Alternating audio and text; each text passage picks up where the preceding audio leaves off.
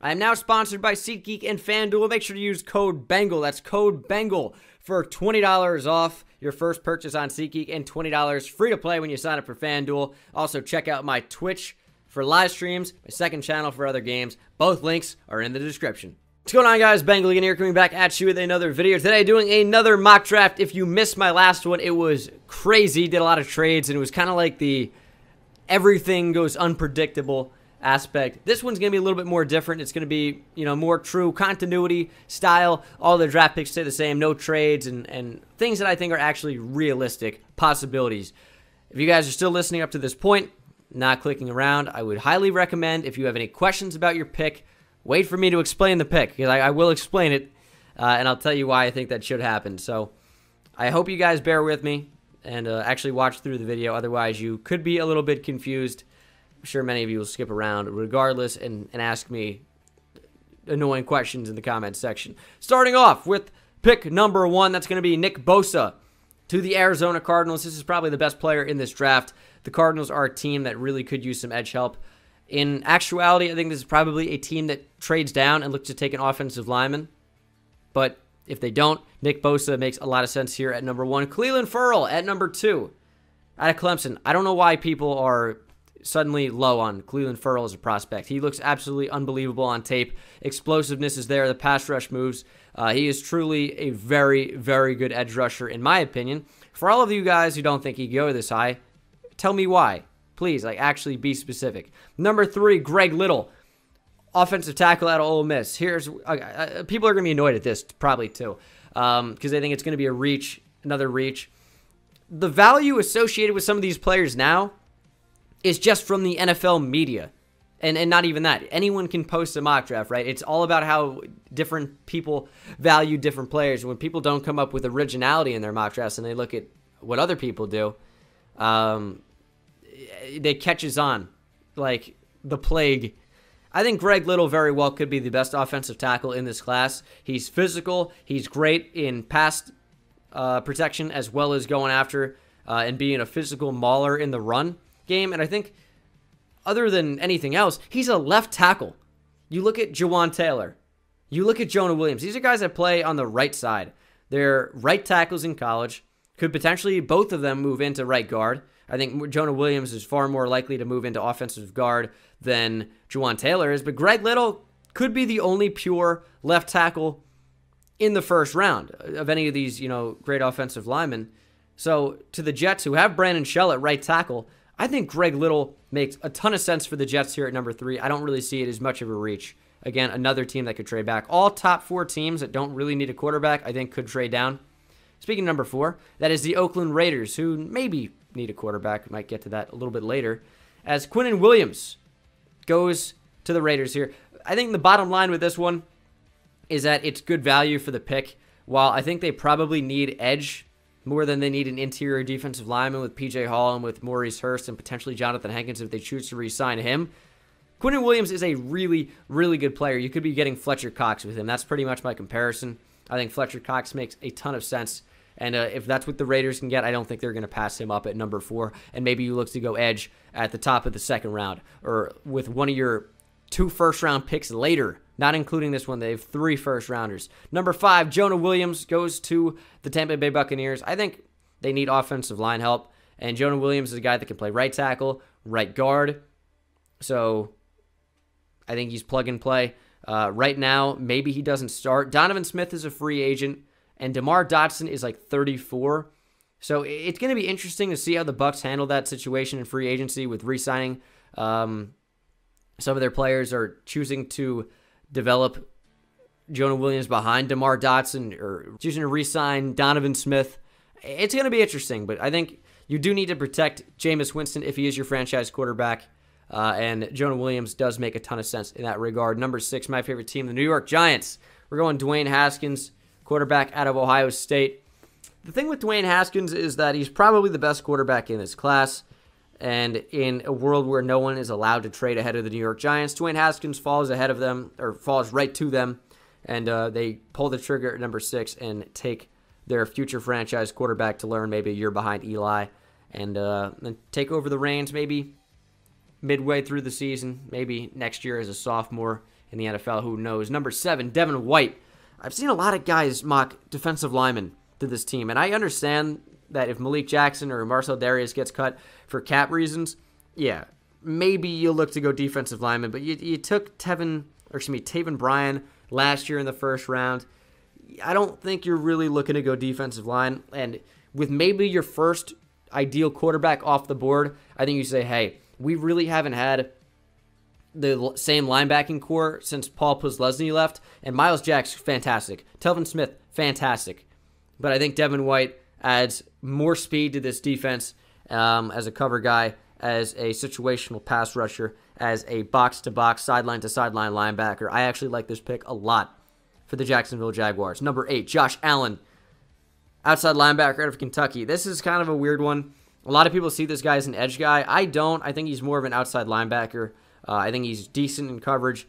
He has fantastic size, but when you watch him on tape, he's not really a true edge rusher, in my opinion. His sack numbers are certainly inflated, but he doesn't really have a great array of pass rush moves that he goes to and wins effectively with. It's a lot of effort sacks and a lot of situational sacks. So I, I think sack numbers is a pretty bad way to evaluate a college talent, as Jaylon Ferguson, who looks like a mid-round player, uh, who I know you probably, you guys probably seen him in the first round, and you're like, what are you talking about? This guy has no clue. Jaylon Ferguson to me is not very good at all. Um, Josh Allen kind of struggles as a pass rusher as well. And, and but my point with Jaylon Ferguson, he has a record all time for the NCAA in sacks. He's not all that. Sacks don't tell the full story. Look at Nick Bosa. There's a reason he's going number one overall. He's not anywhere close to the all-time sack record in college football.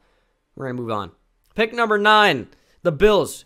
You got your franchise quarterback, maybe in Josh Allen. You got to protect him. Jawaan Taylor. Number 10, Drew Lock. After a fairly strong senior bowl, he looked like he was the probably the second best quarterback there. I think uh, maybe the third. I think Tyree Jackson was impressive sometimes, other times not. But really, the best quarterback in the Senior Bowl was Ryan Finley. I think Drew Lock has uh, maybe raised his stock slightly. I thought about putting Greedy Williams in here at number 10, but I think the Broncos, who have apparently been linked to Drew Lock, saying that he's their uh, number one QB. They like him the best of any quarterback in this class. I think John Elway is going to jump at the opportunity to take a uh, prototype quarterback and throw him into that Denver offense. Number 11, the Bengals take Cody Ford. I have him listed at OL. Played right tackle at Oklahoma. I think he translates more as an offensive guard. Could play left or right, uh, maybe even left or right tackle. He's a guy that can play probably four of the five offensive line positions. Very versatile, very good. The Bengals, who need upgraded pass protection, take Cody Ford. Jachai Polite to the Packers at number 12. He's an edge rusher, would work well in the 3 4. This is what the Packers are looking for. Clay Matthews isn't cutting it. Old. Nick Perry, who I believe is a free agent, also old and not cutting it. Jachai Polite can potentially come in and be that future franchise edge rusher for you. Number 13, Ed Oliver. Why is he falling? Well, I think a lot of it has to do with the teams picking ahead of them. Their top concerns are not defensive tackle. You get to a team that finally needs one, and at number 13 for the what the, the second time in the past five years, get another steal. First Laremy Tunsil, and now Ed Oliver. They've been making a living off of getting steals in the draft later than people thought. And here's Ed Oliver at number 13. I think it's a perfect fit He's not falling past Miami. There's no way. Number 14, Rashan Gary. Maybe a 3 4 defensive end. Maybe a 4 3 defensive end or defensive tackle. I think he's more of an inside player. Uh, and I think he would work really, really well on this Atlanta defensive line that kind of needs a little bit, a little bit of both. With Vic Beasley being uh, a little bit ineffective and Grady Jarrett potentially testing free agency, you need to upgrade your defensive line. You need to get somebody else in there. And Rashan Gary, who could be an edge rusher, although I think he probably uh, should slide into play interior. You know, a lot of people have him listed as an edge. I have him listed as a defensive lineman. Versatility is a big thing for Rashan Gary. He's a great athlete, very, very strong and powerful. Going to fit in and work really, really well in Atlanta. Number 15, Daniel Jones, quarterback out of Duke to the Washington Redskins. Alex Smith may never play another snap of football in his career, in his life. Daniel Jones could be your new franchise guy. You were likely going to make the playoffs before Alex Smith went down. Maybe all you're missing is a quarterback. Daniel Jones to the Redskins. Although I think they're missing more than that, but you know maybe you might think that. Number 16, Montez Sweat to the Carolina Panthers. I've had Deionte Thompson in here forever, and he had kind of a weak uh, national championship against Clemson. That's kind of a, even saying it nice nicely. Uh, Montez Sweat is good, and you do need edge rushers, man. Julius Peppers is so old. He's like 38 now, and uh, I don't even know what his contract situation is. I think he might be a free agent this year or next year uh, if he doesn't retire before then. And then Mario Addison is a decent player for sure, uh, but you need to go out and get someone that's going to be more effective and younger, I think, more than anything. Both of those players I just named, and Addison and Peppers, are both over 30, with Julius Peppers being well over 30. Why don't you get someone who's in their 20s? Maybe can have a prime in Carolina. Go edge rusher here at number 16. Let's move on. Number 17, Greedy Williams falls all the way to the Cleveland Browns here at number 17. And for a team looking for a real, true number two cornerback next to Denzel Ward, I think Greedy Williams at 17 fits the bill. Top 10 potential for sure. But if the mock draft, if the actual draft, I should say, plays out like this, uh, I think the Browns would jump at the opportunity and look to go defensive line in the second round. Dalton Risner, offensive lineman out of Kansas State to the Minnesota Vikings. I've had this in here forever. I, I just think it makes so much sense. Another versatile player. Can play offensive guard or offensive tackle. That's why I have him listed at OL instead of just OT or OG for guard or tackle. Um, but the Vikings need to protect Kirk Cousins. That was a big downfall for you last year. That's maybe why you didn't do as well as you would have liked. This is something that I think it needs to happen. The Vikings have to go offensive line here. They have to. Protect Kirk Cousins. Number 19, A.J. Brown to the Tennessee Titans. Could be the number one receiver in this class. And for the Titans, with a super weak receiving core, unbelievably weak, get another good receiver to go opposite of Corey Davis. And now you have actually a true duo. Number 20, Byron Murphy to the Pittsburgh Steelers. A lot of people were really upset when uh, I had him in the second round of my Giants mock draft video. I, I do off-season previews for each team. Make sure to subscribe if you're not already. Uh, a lot of people had him really mad when I had him in the second round, even though the NFL draft projection committee had him as a second round player. He still could rise up boards depending on how his combine goes, and he's a good player.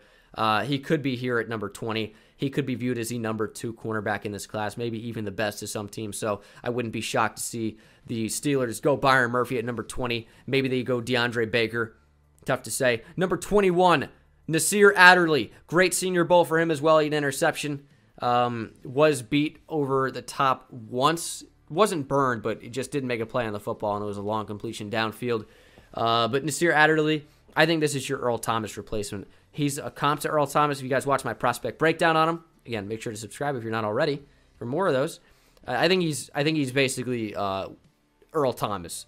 Maybe not to the same level of Earl Thomas when he was coming out, but he's, you know, a very similar uh, body type. I think he offers fantastic range, speed, cover ability, and he also can come up and lay the lay the boom, lay the wood, lay in pipe, bring back the Legion of Boom to Seattle. And this year, Adderley, I think, is a step in the right direction. You're not bringing back Earl Thomas. Number 22, Deebo Samuel. Another great Senior Bowl performance. Uh, with the receiving class being so weird this year, uh, I wouldn't be shocked if some people had Deebo Samuel as their number one, if they had A.J. Brown, if they had N'Keal Harry, if they had Kelvin Harmon, if they had DK Metcalf, if they had any number of players. Uh, J.J. Arcega Whiteside could be somebody's receiver one. Uh, it's so close. It wouldn't shock me to see Deebo go here to the Ravens at number 22. I think he's be uh, a really, really good option in that offense. I think he's a, a classic Baltimore Ravens receiver. And, you know, you had Steve Smith had a lot of success. I think John Brown was decent, but his contract is coming to an end here. Michael Crabtree's not cutting it. You need another receiver. Deebo Samuel could be exactly that. A slot guy can also play him on the outside. Number 23, Andre Dillard. Not going to spend too much time on this. You got to protect Deshaun Watson. Your offensive line's terrible. You got to go offensive line here. Andre Dillard could be the best pure left tackle in this class. Greg Little, we talked about earlier, but maybe it's Andre Dillard. He's available at 23 you're pulling the trigger. Number 24, here's Deionte Thompson. He falls down a little bit, but he's still one of the best safeties in this class. And I think he would make a very interesting pairing with Karl Joseph. Two really physical cornerbacks, or excuse me, safeties Deionte Thompson having a little bit uh, better cover ability in general. And uh, Jon Gruden gets him an Alabama boy. Plays safety. Here's where things get a little interesting. We're, we're going to talk about 27. Trust me. I know it's going to be a very, a very uh, controversial pick to say the least. I, trust me, I can explain it. Number 25, we're going Jeffrey Simmons. Jeffrey Simmons is such a good player. He does have what you might call potential off the field concerns. He beat the hell out of a lady uh, when he was in high school, I believe. I know that she said something real bad apparently about his uh, deceased nephews or nephew, and but you still can't you can't beat up a lady probably. Um, no, that's more definitely you can't beat up a lady. I think we'll, we'll say, um, but he's such a good player, and I like Jeffrey Simmons a lot. I would hate to see him go to the Eagles here, but for a team that could use a real sick defensive lineman, uh, Jeffrey Simmons would be a great rotational player. I think he's versatile enough to play the edge in certain sub packages. So you get a really good versatile player here. I know the Eagles are going to be looking for a true edge or maybe a cornerback or, or something else, maybe a linebacker if Jordan Hicks leaves, but I think Jeffrey Simmons offers a ton of value here at number 25. I don't think they would pass him up. I really don't. DK Metcalf at number 26 offers Andrew Luck a true number one. T.Y. Hilton, like he is, but he's you know undersized, but he, is a true number one uh, in terms of his ability and production. DK Metcalf just offers you a bigger target with great speed and athleticism. A guy that's been uh, a really good player when he's healthy at Ole Miss. Kyler Murray at number 27. All right, you're a Raiders fan. If you're anybody and you hate this pick, hold the phone. All right, hold the phone. There's an interesting situation with Derek Carr, and a lot of this is speculation. Uh, it seems like there could be trouble in paradise if you couldn't call Oakland a paradise. But you don't. I don't think that Jon Gruden thinks that Derek Carr is his franchise option. I know Derek Carr's numbers were pretty good this past year. His play was not up to where his numbers are. Uh, people are going to hate that, but sorry, it's the truth hurts sometimes. And um, there's a good chance that Jon Gruden wants to draft his own quarterback, which he's shown that a lot in the past that he likes to do that. So I think that it wouldn't be out of the question to see the Raiders think about quarterback here, maybe in the second round, maybe early, maybe in the first round. And for Jon Gruden to come out say recently that he doesn't think size matters anymore at quarterback, that he doesn't care about short QBs, does he say, hey, let's get an electric, Heisman winning, dual threat quarterback to be our franchise guy, maybe play him a year under Derek Carr, and then look to trade Carr maybe have a quarterback controversy. I think that's I think this makes a lot of sense for the Raiders and to what the craziness that Jon Gruden could pull off on draft night. I don't know why, man. I just I got a feeling about Kyler Murray to the Raiders. And hey, Kyler Murray got drafted by the Oakland Athletics. Oakland, Oakland? I don't know. I'm just saying the stars seem to be aligning on this one. I don't know. Number 28, Christian Wilkins. Way better than a, a top 28 player. But in a draft where all these defensive linemen are falling due to the true quality of the entire defensive tackle class, Christian Wilkins falls to 28. He goes to the Chargers, who desperately need an interior presence on that defensive line. DeAndre Baker to the Chiefs. This could be a safety. This could be a linebacker. This could be a defensive lineman. Could also be a cornerback, man. They got to go defense here with this pick. Uh, I also wouldn't be shocked to see this go Josh Jacobs at halfback. He's a first round player that isn't in my mock draft. He is just the way it works out. The value of running back nowadays, I don't know, man. Uh, DeAndre Baker could be another really good cornerback option for you. You got Kendall Fuller, you got DeAndre Baker. DeAndre Baker being more of a true traditional boundary number one. Kendall Fuller having most of his success in the past be in the slot. I think that's where he fits the best. You need help at cornerback badly. DeAndre Baker offers that. Number 30, Johnathan Abram to the Green Bay Packers out of Mississippi State. He's could be the best safety in this class, man. It's so close. It's so weird. His Egg Bowl tape is unbelievable. He showed up like the best safety in the entire draft against Ole Miss, but he was a little bit inconsistent the rest of the season, man. Some games he was great, some games he was bad. So you, you get a really, really high ceiling with this guy, and you need a, you need safety help. You need a true safety. You got to stop converting safeties to cornerback and cornerbacks to safety. Take a true safety Johnathan Abram offers you versatility at slot corner, which is what you like to do with Micah Hyde, occasionally Morgan Burnett. As a box linebacker, talking about Morgan Burnett, did that as well. Johnathan Abram did that a lot at Mississippi State. Also played over the top. This guy was all over the field and did so most of the time at a high level. Really good cover guy that flies around the field. Really good safety. Having Packers here at number 30. Mack Wilson to the Rams, who we have. This is not, I have the Patriots winning the Super Bowl, although I do. Spoiler. Um, Mack Wilson, linebacker here to the Rams. They need help at the position pretty badly, uh, especially someone that can come by, stop the run. Mack Wilson offers that. He's also a pretty good cover guy as well. So uh, I think he offers you a really good traditional linebacker that can kind of do it all. And then number 32, we got N'Keal Harry going to the New England Patriots. Not really a traditional Patriots receiver, if you catch my drift. I don't know if he's hardworking, hard nosed, gritty, tough. You get what I'm saying here? You know, first guy in, last guy out. Maybe, maybe yes, I might be alluding to something else. Um, hard nosed. Did I say that? Tough, gritty. Did I say any of these? He's got a lot of tenacity for the game. Oh man, N'Keal Harry, number 32, the Patriots. This is a this is a really fun weapon for Tom Brady's what this is going to come down to if Tom Brady's playing football for the New England Patriots next year. I don't really think they go QB here. Maybe they look to do that in the second round. I'm not sure. It depends on Brady. This could be a quarterback, could be a Will Grier, could be a Ryan Finley, could be a lot of guys. But if Tom Brady's your quarterback next year, which it seems like he might be, Tom Brady says he wants to play till he's 45, which I don't know how true that is, but he said it. You don't go quarterback right now. You say, hey, Tom Brady probably coming off another Super Bowl win. Let's give you a weapon, a true weapon. No, none of this Julian Edelman, Chris Hogan, Wes Welker. Obviously, Welker not on the team anymore for a while, but I don't know if you're picking up what I'm putting down here. Uh, Braxton Berrios, Berrios, N'Keal Harry, beast receiver. This is like your uh, your Randy Moss, even though he doesn't have the speed or anything like that. Uh, N'Keal Harry is a beast, man. Tom Brady gets a true weapon. But that's going to do it for this mock draft, guys. I hope you enjoyed. Let me know what you think down in the comments section below. I'm sure, per usual, it's going to be an absolute disaster. And uh, I am happy to ignore these comments. See you in the next one. Take it easy.